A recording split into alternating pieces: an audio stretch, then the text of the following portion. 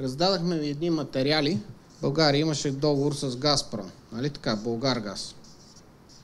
Това го имате и на картинката. И Българгаз за месец юли, защото всеки месец се сменя цената, трябваше да купува по, от Газпром газ по 86 евро. Нали така? Само, че не купува от Газпром по 86 евро. Какво се случва? Купува от една компания, която се казва VIE, т.е. Винтерсхал, Румъния. А тази компания Винтерсхал, Румъния е собственост на Газпром, Швейцария. Тоест Газпром Швейцария е 100% собственик, 100% собственик на Газпром Швейцария, а Газпром Швейцария е 100% собственик на Вие Румъния.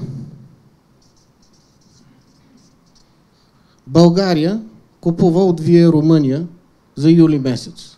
До последния ден на кабинета на промяната. До последния ден. И забележете. Ето тук е Българгаз. Българгаз купува от тази въпросната фирма на 110 евро.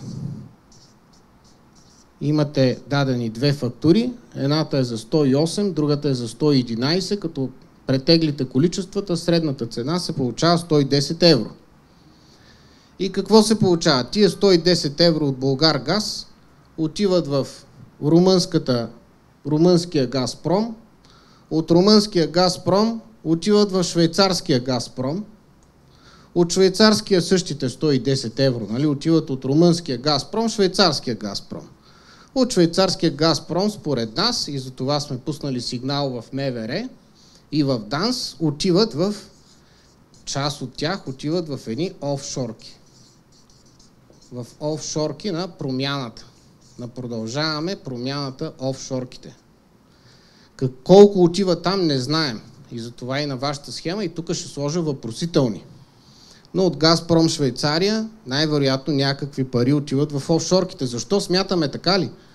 Защото а, няма никакво друго обяснение, защо вместо да купуваш от Газпром директно на 86 евро, ще купиш от румънския Газпром на 110 евро.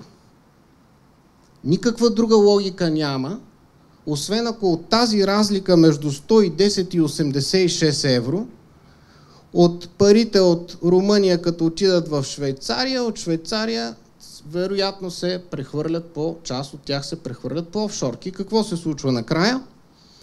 Газпром получава от Газпром Швейцария 110 евро минус въпросителната, минус комисионната за офшорките. Кой печели от тая цялата схема? Ето виждате, това е хоризонтална структура на Газпром. Всички тези компании са на Газпром. Е, тази е компанията майка, с която ние имахме директен договор на 86 евро, но не вземаме от тази компанията майка, а вземаме от дъщерната на дъщерната, но всички тези компании, общото е, че тези компании са на Газпром. Кой печели от това?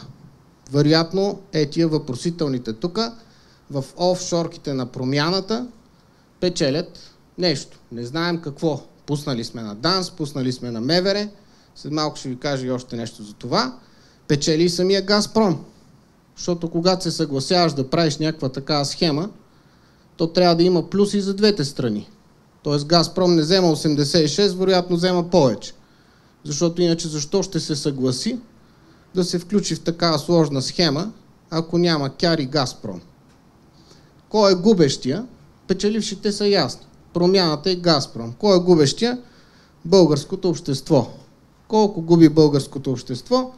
28%. 28% е разликата между 110 евро и 86 евро. Вероятно сте забелязали в студията, като ги питат верно ли е, че е руски газа, и те почват да се гърчат.